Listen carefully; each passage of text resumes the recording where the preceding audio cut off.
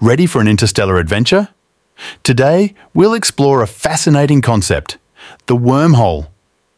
A wormhole, or Einstein Rosen Bridge, is a theoretical tunnel connecting two distant parts of the universe.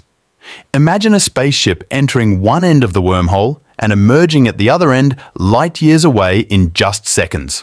Inside the wormhole, space and time bend, creating an extraordinary shortcut.